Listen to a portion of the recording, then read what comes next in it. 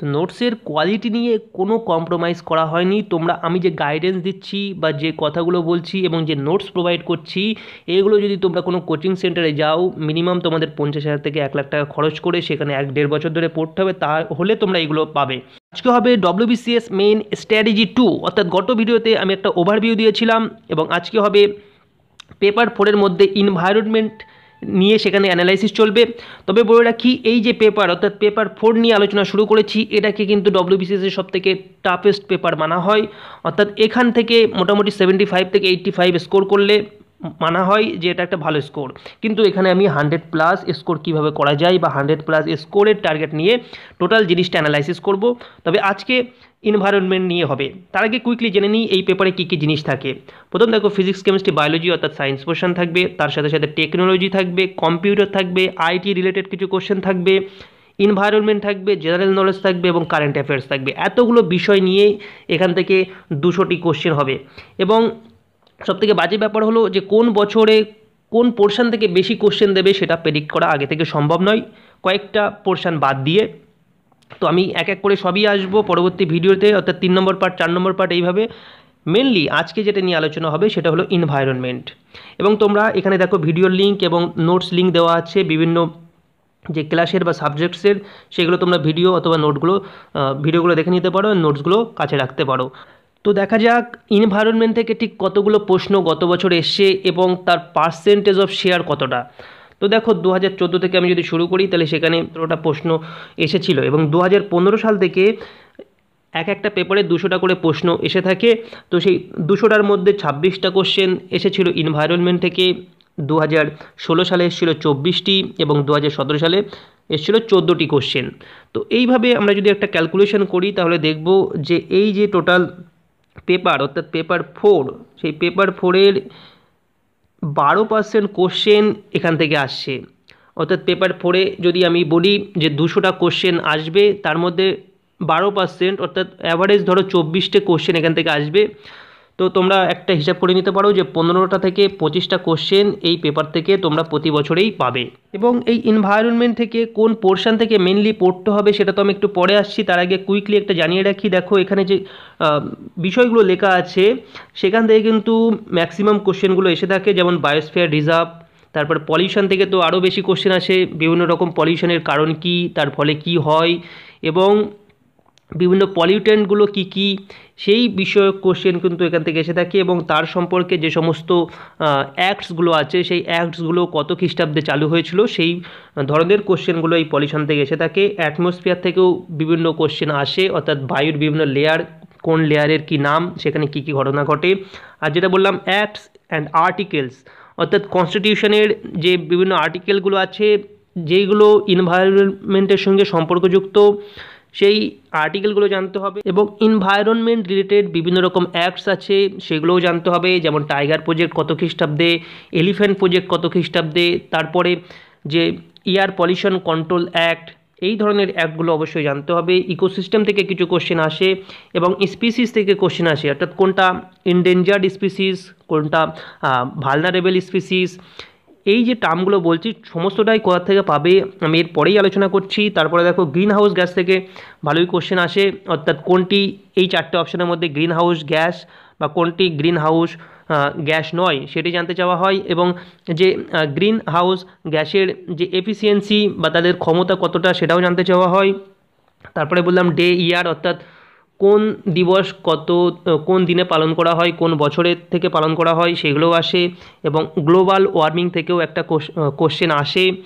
Sanctuary থেকে আসে, বিভিন্ন রকম ন্যাশনাল পার্ক থেকে আসবে, বায়োস্ফিয়ার রিজার্ভ থেকে আসবে আর অ্যাব্রিভিয়েশন থেকেও আসবে। অর্থাৎ বিভিন্ন রকম যে টার্মগুলো আছে ইনভায়রনমেন্টাল টার্ম অ্যাব্রিভিয়েশন সেখান থেকেও প্রশ্ন আসবে। এই বিষয়ে আরও ডিটেলসে আমি একটু পরে আসছি তার আগে বলে রাখি সোর্স যে এখানে কোশ্চেন আসছে ইনভায়রনমেন্ট রিলেটেড তোমরা দেখেছ যে টুয়েলভ পারসেন্ট অর্থাৎ মোটামুটি পনেরো থেকে চব্বিশটি কোশ্চেন এখান থেকে আসবে। তো সেই কোশ্চেনগুলো কোথার থেকে পড়লে সুবিধা হবে?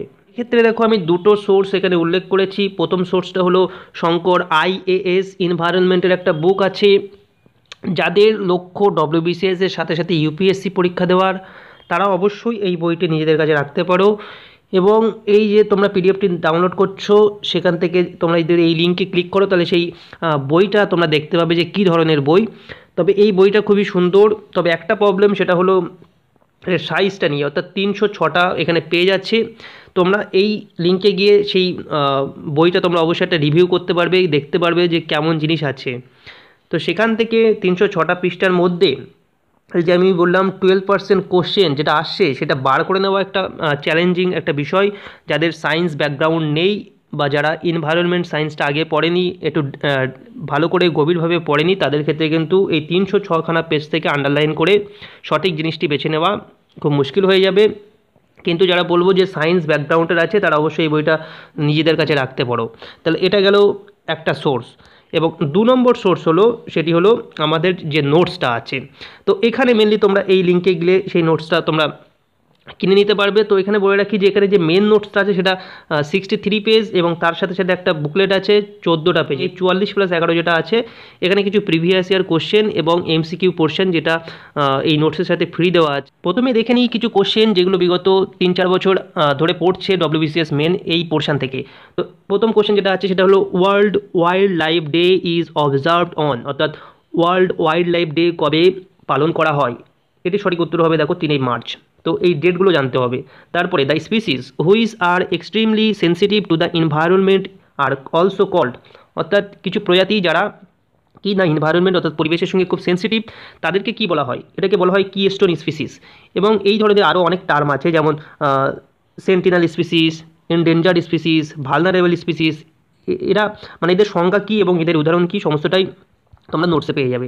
তারপরে দেখো যেটা বলছিলাম যে global warming potential of carbon die oxide তাহলে বিভিন্ন যে গ্লোবাল ওয়ার্মিং যে গ্রিন হাউস গ্যাস থাকে বা আদার্সগুলো থাকে, তার মধ্যে এখানে যে কার্বন ডাইঅক্সাইড আছে, তার গ্লোবাল ওয়ার্মিং পোটেন্সিয়ালটা কত সেটি জানতে চাওয়া হয়েছে। এটি হলো এক।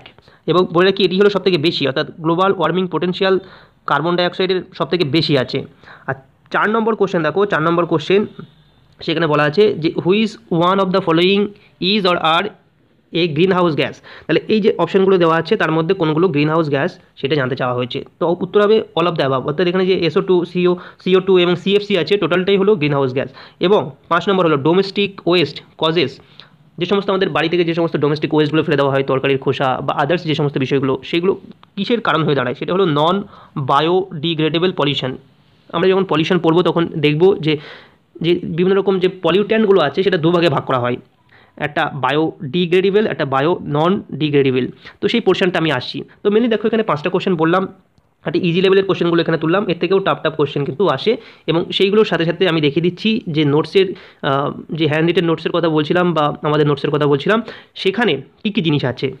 তো এগারোটা টোটাল বিষয় আছে, প্রথম হলো ইকোসিস্টেম আছে, তারপরে এনার্জি ফ্লো আছে পলিউশন আছে এবং বিভিন্ন ধরনের act MEA some important point on climate change তারপরে কিছু ইম্পর্টেন্ট আরও কিছু পয়েন্ট আছে, তারপরে বায়োডাইভার্সিটি অ্যান্ড কনজারভেশন এবং এটা হলো এই যে নোটসটা তোমরা আছে, দেখতে পাচ্ছ এর ভেতরে আছে। আর বাকি তিনটে পয়েন্ট আছে, দেখো এটা ফ্রিতে আর একটা কথা বলে রাখি, তোমরা যারা এই দু তিন দিন ধরে এই নোটসটি নিচ্ছ তারা এই অবশ্যই এই তিন, ন নম্বর, দশ নম্বর এবং এক নম্বর পয়েন্টের নোটসটি পাওয়ার জন্য এই নম্বরে তোমরা মেসেজ করো হোয়াটসঅ্যাপ করো। অনেকে করছে না দেখলাম। তো সাথে একটা এক্সট্রা নোট দেওয়া আছে, দশ নম্বর পয়েন্ট সেটি আমাদের টাইপিং নোটস সেটি হার্ডলি চোদ্দ পেজের একটা নোটস আছে। সেটি হলো খুবই গুরুত্বপূর্ণ নোটস আর এগারো নম্বর পয়েন্টে কী আছে না প্রিভিয়াস ইয়ার কোশ্চেন অর্থাৎ দু হাজার চোদ্দ, পনেরো, ষোলো, সতেরো। এই বছরগুলোতে ইনভায়রনমেন্ট থেকে কী কী প্রশ্ন পড়েছিল, সেগুলো দেওয়া আছে, যেগুলো দেখলে তোমরা অ্যানালাইসিস করতে পারবে। আর এখান থেকে পড়তে পারবে, এখান থেকে প্র্যাকটিস করতে পারবে। অর্থাৎ টোটাল যে পেপার ফোর বলছিলাম সব থেকে কঠিন মানা হয়, সেটির জন্য আমরা উঠে পড়ে লেগেছি। তার প্রত্যেকটা যে ভাগ আছে সেগমেন্ট আছে জিকে থেকে শুরু করে current affairs science portion technology portion এমনভাবে নোটস প্রোভাইড করব বা গাইডেন্স করব। তোমরা সেখান থেকে seventy five to eighty five two দূরের কথা হান্ড্রেড প্লাস স্কোর করতে পারবে। সেই উদ্দেশ্যে আমরা এগোচ্ছি। তো দেখো এর ভিতরে কেমনভাবে আছে? তো চ্যাপ্টার ওয়াইজ ভাগ করে দেওয়া আছে। প্রথমে বললাম ইকোসিস্টেম ইকোসিস্টেমটা যদি একেবারে প্রথম থেকে আলোচনা করি, সামান্য কিছু আমি আলোচনা করেও দিচ্ছি। দেখো, এটা ইকোলজি ঠিক আছে? ইকোলজি শব্দটা কোথার থেকে এসছে না দুটো ডিফারেন্স শব্দের সংমিশ্রণে ইকোলজি শব্দটা এসছে। একটা হলো ঐকাস একটা হলো লোকাস। তাহলে ঐকাস মানে হলো হ্যাবিট্যাট অর্থাৎ যেখানে কোনো একটা প্রাণী যেখানে থাকে সেটাকে হ্যাবিটেট বলা হয়। আর টু স্টাডি তো সেই হ্যাবিটেট সম্পর্কে পড়াশোনাকে বলা হয় ইকোলজি এবং দুটো টার্ম আছে ইকোলজি আর ইকোসিস্টেম এই দুটো টার্ম কিন্তু অনেকের গুলিয়ে যায়, অর্থাৎ কোন টার্মটা কে প্রথম বলেছিল সেটি কিন্তু গুলিয়ে যায় এই দুটো টার্মের সাথে। তো এখানে দেখো ইকোলজি আর এটা হলো ইকোসিস্টেম তো এটা ছকের মাধ্যমেও বলে দিয়েছি যে ইকোলজিটি সেটি কে করেছিলেন? কে প্রথম এই টার্মটা উল্লেখ করেছিলেন? Ernst Haeckel. এবং ইকোসিস্টেম এই টার্মটাকে প্রথম বলেছিলেন নার্থার টান্সলে তো এই জিনিসটি মনে রাখতে হবে, এই ধরনের বিষয়গুলো এখানে বর্ণনা করা আছে। যেটা বলছিলাম যে হোয়াট ইজ ইকোটোন ইকোটোনটা কী? দেখো, এটি কিন্তু খুবই গুরুত্বপূর্ণ। যেমন বলেছিলাম, কি স্টোন স্পিসিস একটা কোশ্চেনের মধ্যে বলেছিলাম, আর এটা হলো ইকোটোন ইকোটোনটা কি? না the transitional zone between two different vegetation of region is called ecotone খুবই সহজ ব্যাপার। দেখো, এখানে ধরো আমাদের ভূমিভাগ আছে। তাহলে এটা হলো একটা ল্যান্ড ইকোসিস্টেম তারপরে এখানে ধরো সমুদ্র বা নদী যাই হোক একটা আছে। তো সেটা হলো কি না সেখানে একটা আলাদা ইকোসিস্টেম বিল্ড করছে। তো এখানে আমাদের একটা ল্যান্ড ইকোসিস্টেম এটা হলো ওয়াটার ইকোসিস্টেম তো দেখবে যখন এই সমুদ্র শুরু হচ্ছে এবং ল্যান্ড শেষ হচ্ছে, তখন কিন্তু জলের গভীরতাটা খুব বেশি থাকে না। একটা হালকা গভীর থাকে। সেটাকে তোমরা স্থল বলতে পারো, জলভাগে বলতে পারো। এই যে ট্রানজিশনাল জোন অর্থাৎ দুটো ইকোসিস্টেম মার্চ করছে বা যেখানে মিশছে, সেই জায়গাটাকে বলা হচ্ছে ইকোটোন তো এইভাবে তোমাদের কনসেপচুয়াল পড়তে হবে এই পোর্শান থেকে, আর বাকি যেগুলো আছে সেগুলো মুখস্থ করে নিলেও হবে। এবং এখানে বিভিন্ন রকম টার্মস এবং তার ডেফিনেশন এবং এক্সাম্পল দেওয়া আছে। যেমন প্রথমেই দেওয়া আছে প্ল্যাংটন। তো প্ল্যাংটন কাকে বলে? প্ল্যাংটন কয় প্রকারের? যেমন ফাইটো প্ল্যাংটন এবং জু প্ল্যাংটন ফাইটো মানে হলো উদ্ভিদ এবং জু মানে হলো প্রাণী। তো যে সমস্ত প্ল্যাংটন মানে উদ্ভিদের প্ল্যাংটনগুলো হলো ফাইটো আর জু প্ল্যাংটন হলো প্রাণী। তো সেটি এখানে ডেফিনেশন দেওয়া আছে, এখানে এক্সাম্পল দেওয়া আছে। তো এই পোর্শনটা গেল ইকোসিস্টেমের মধ্যে এবং আমি অন্য যে বিষয়গুলো আছে, ওখানে দেখো এখানে তেষট্টিখানা পেয়ে যাচ্ছে তো অন্য যে বিষয়গুলো আছে, সেগুলো একবার কিছু কিছু পোর্শান তোমাদের দেখিয়ে দেওয়ার চেষ্টা করছি। আচ্ছা আরেকটা পোর্শন হলো ফুড চেন এবং ফুড ওয়েব এই দুটোর মধ্যে অনেকে গুলিয়ে ফেলে সেটা আমি বলছি, দেখো, যে ইকোসিস্টেমে মানে খাদ্যের ব্যাপারে একটা প্রাণী তার নিচের স্তরের সঙ্গে সম্পর্কযুক্ত ইন্টার রিলেটেড যে এনার্জি ছিল, সেটি কি হচ্ছে? না, যে বিভিন্ন কারণে এই ফোরিং বা এটা হলো প্রাইমারি কনজিউমার তার কাছে আসছে, আবার এই ফোরিংকে খেয়ে এই ব্যাং বেঁচে থাকছে, তো সেটি হলো সেকেন্ডারি কনজিউমার এবং তাকে খেয়ে টার্সারি কনজিউমার বেঁচে থাকছে।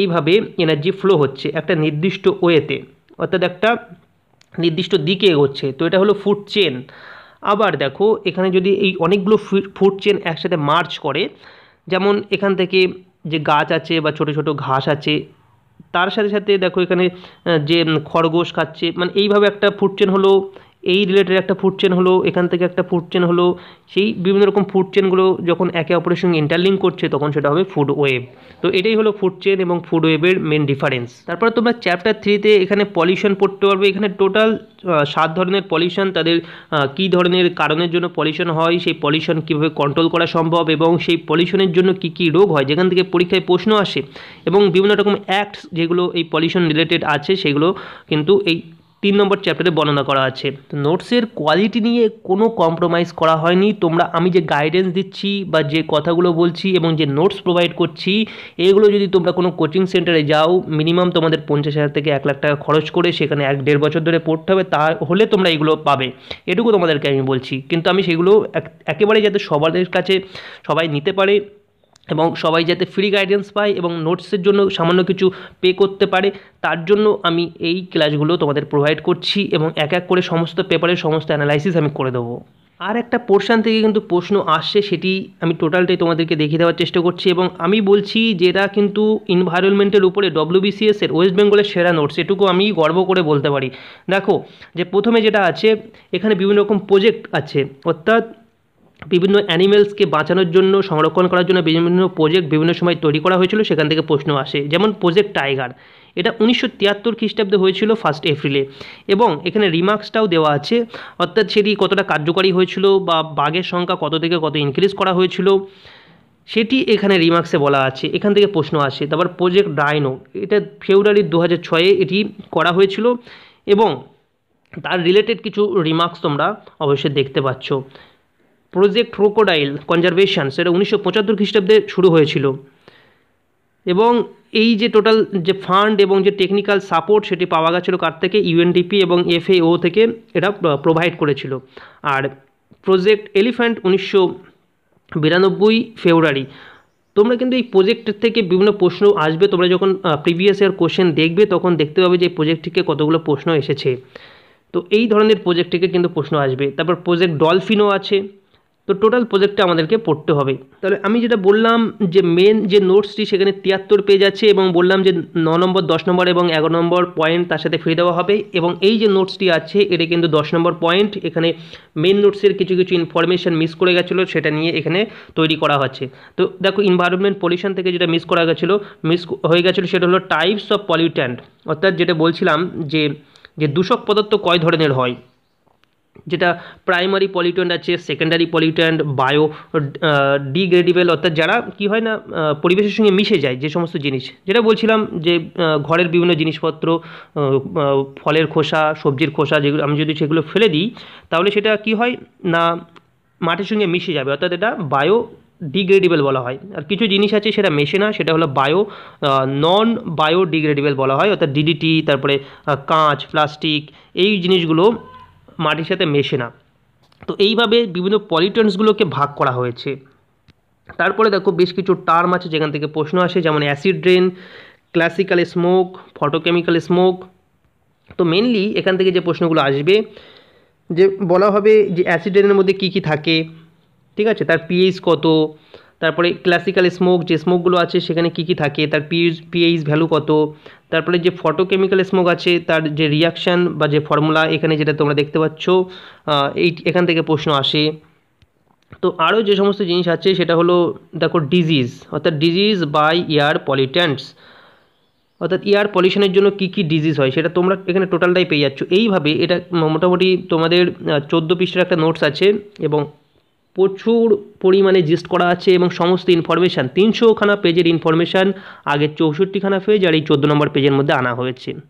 হাইলি এফেক্টিভ একটা নোটস তোমাদের কাছে রাখার চেষ্টা করবে। আমি এখানে যতটা পারলাম অ্যানালাইসিস করে দিলাম যে কোন পোর্শন থেকে প্রশ্ন আসছে, কোন পোর্শনটা তোমাদের পড়ে যেতে হবে এবং একেবারে তোমাদের হাতের সামনে সহজভাবে দুটো মেটেরিয়ালস তুলে দিলাম। একটা হলো শঙ্কর আইএসের যে মেটেরিয়ালস তিনশো ছখানা পেজ আছে, সেটিও তোমরা ওই লিঙ্কে গিয়ে দেখে তোমরা কিনে নিতে পারো মার্কেট থেকে এবং সেখান থেকে তোমরা আন্ডারলাইন করে নোটস বানিয়ে নিতে পারো অথবা একেবারে রেডিমেড নোটস তোমাদের সামনে এই একটা অপশান আছে। দুটোর মধ্যে যে কোনো একটা জায়গা থেকে চুজ করো, শঙ্কর আইএসের বুক থেকে পড়তে পারো অথবা আমাদের নোটস থেকে পড়তে পারো।